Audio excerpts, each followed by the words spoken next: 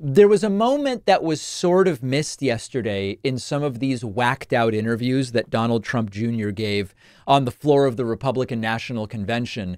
There was a moment where Don Jr. mentioned, you know, I'm not going to be conspiratorial, but something went wrong uh, in Butler, Pennsylvania on Saturday with regard to someone being able to get onto a roof about 100 yards from his dad. Now, you really have to look at the totality of this clip, including the expression on Don Jr.'s face.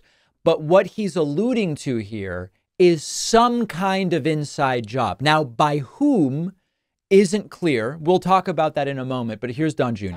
Having had it, having been in it, having been both my father as a president, as a candidate, you know, my own details, someone to get out on an open roof within 130 yards. You know, I'm not going to be the guy to be conspiratorial, but something went wrong. Now, my view is that what went wrong is uh, a security failure. There was a security failure uh, in a number of different ways. I won't rehash all of it, but it involves individuals seeing the shooter climbing onto that roof, trying to alert law, law enforcement. Reportedly, one officer coming over, climbing up, seeing the shooter with the rifle, and going back down. And then, before anybody else is able to do anything about it, the shots ring out. There are reports that the snipers on the roof closer to Trump saw the shooter, but there was some kind of radio confusion or a hesitation to allow the shooter to be taken out. I'm not even speculating whether that should have been approved or not. I'm just telling you that's another aspect of this. The the real story here does not imply involvement by Joe Biden as one member of Congress suggested. It doesn't imply an inside job by the FBI, DOJ, Democrats, uh, whoever else you want to fit into here. What this looks like is a single shooter that we now know to be a registered Republican, know to have been a registered Republican, with unclear personal motives, whether they were political or personal, we just do not know, and some very specific security failures. And so, is it irresponsible for Junior to imply something like this? Yeah, it's probably irresponsible to some degree. I, I would say so. Is it something that we know is on the minds of many? Yes, we do know.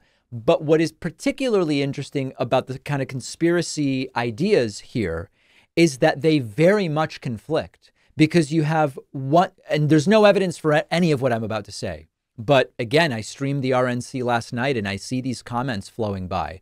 On the one hand, you have the contingent that says this might have been staged by Trump. Sir, we're going to set up a shooter.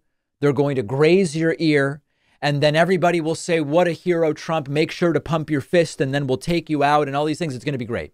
That, that's one set of conspiracy theory about what this is, staged by Trump to help him. There's no evidence of that. Constitutionally, I struggle to believe Trump would, would go with something that includes buzzing his ear, because as we all saw, if we're one inch off, Trump's dead. So there's no evidence of that. I struggle to believe that that would go on. On the other hand, there are those who say Biden would have staged this in order to get attention off of the debate performance. Now, again, no evidence for that either. The problem with the Biden motive to stage would be if you were, are you arguing Biden staged it to graze Trump's ear? Or are you arguing that Biden staged it to kill Trump and it went wrong? And of course, there's rarely an answer there. And there's no evidence for it one way or the other. So, what Don Jr. is doing is probably irresponsible, yes. But more importantly, as I talked about yesterday, if you want to play the motive game, you can find motive on both sides, and motive alone does not a conspiracy make, as we have talked about many times before when taking apart conspiracy theories.